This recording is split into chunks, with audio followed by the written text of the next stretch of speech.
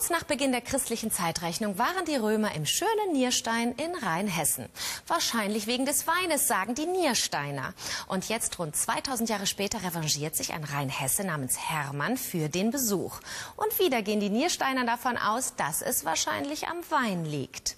Aber was auch immer der Grund für diesen Lebenstraum war, Hermann hat sich dabei historisch genau exakt ans römische Originaltempo gehalten. Mosche, Guten Morgen. Herrliche da. Für Hermann Steiger aus Rheinland-Pfalz, der gern an der frischen Luft ist. Ja, der Herr Steiger hat einen ganz außergewöhnlichen Lebenstraum gehabt, denn er wollte mit einem Traktor nach äh, Sizilien fahren. Mit dem Trecker? Aber nicht nur ein Traktor, das hat ihm nicht ausgereicht. Der hängt an den Traktor auch noch ein äh, Wohnwagen dran. über den Brenner gefahren mit 25 Stundenkilometer. Ja, man muss mal sagen, verrückter Vogel. Nur ist er eben nicht geflogen, sondern gefahren. Von Nierstein über den Brenner, durch Südtirol und die Toskana nach Sizilien bis an die Stiefelspitze. Und dann macht er auf dem Absatz wieder kehrt. Insgesamt 5000 Kilometer. Genau. Palermo, ich komme, dachte sich der 63-Jährige. Palermo Hermann ist ein Winzer, der sein ganzes Leben in den Weinbergen herumgekrabbelt ist. Und der nun mehr will als Reben erleben. Die Idee dazu hatte Hermann schon vor 40 Jahren. Sie musste reifen. Aber das kennt er ja von seinen Weinen. Also Palermo Hermann wird er ja geschimpft von, von den Leuten in seinem Ort und da hat natürlich keiner gedacht, dass er jemals irgendwann nach Italien kommt. Ist schon ein verrückter Kerl.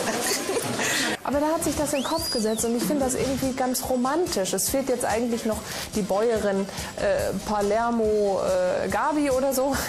Nein, Rosa heißt sie, ist seine Frau und sie kennt ihn gut.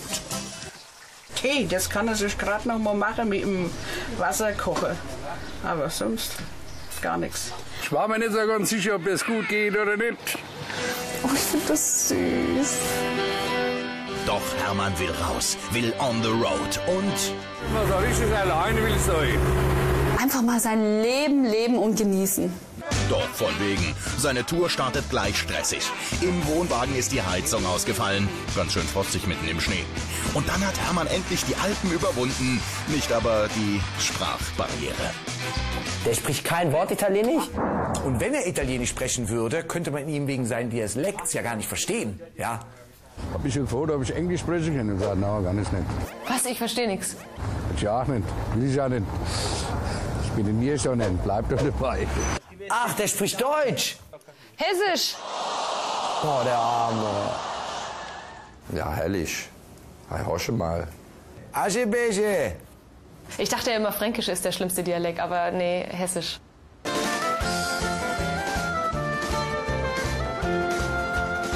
Der Hermann hat Zeit, das ist schön. Früher sind sie mit dem Pferd wohin gereist.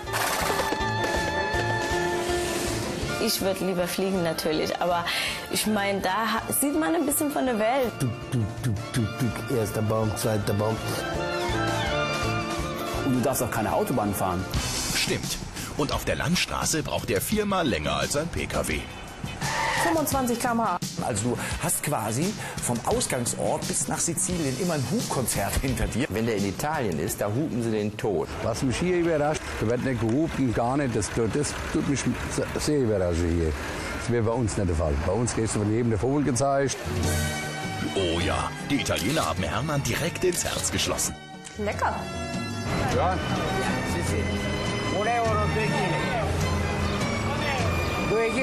ich bin Deutsche. Gib mir mal zwei Kilo. Das ist aber auch so typisch deutsch. Ins Ausland fahren und einfach nur sagen, ich bin Deutsche. Hesse, um genau zu sein. Und er mag es gemütlich deutsch. Auch auf dem Weg durch Rom. Da fährt er mit dem Traktor auf dem Petersplatz. An allen Absperrungen vorbei. Ich glaube, da kam sofort die Polizei. Ja, die italienischen äh, Carabinieri, die werden wahrscheinlich gedacht haben, dass wieder so eine Bauerndemo, wo der da vorgefahren ist. Die größte Attraktion auf dem heiligen Pflaster scheint er selbst. Das ist mir nicht träumen lassen. Der Papst hat sich das auch nicht träumen lassen. Klar, gleich kommt der Papst noch vorbei, sagt Hallöchen, wie geht's dir, komm rein, trink einen mit. Hermann ruckelt weiter mit der Fähre übers Mittelmeer ab nach Sizilien, wo er sich zum Ätna hochackert. Und dort besucht ihn seine Frau Rosa für einige Wochen. Riesig, ich hol den mit meinem Traktor ab. Nee, es war schon ganz gut, als es gekommen ist. Aber nur war es vielleicht ein bisschen zu lang. ah ja, doch. Der Mann, äh, der hat einen Schuss, aber einen guten Schuss. Und solche Leute finde ich wirklich gut. Die machen, was sie wollen und egal, äh, was die anderen denken. Irre. Aber ich finde das phänomenal. Man muss man lieben, weil er ist ein sturer Hund und er will seinen Lebenstraum verwirklichen. Solche Leute braucht das Land. Und vor allem Rheinhessen. Hermann ist von seinen Landsleuten begeistert empfangen worden. Für sie war seine fünfwöchige Wummeltour aber auch eine wirklich wilde Achterbahnfahrt. Sind Sie ein bisschen verrückt? Ja, da muss man ein bisschen was an den Birnen haben, schon mal so Tour macht, gell? Gell, Hesse, super, gut gemacht.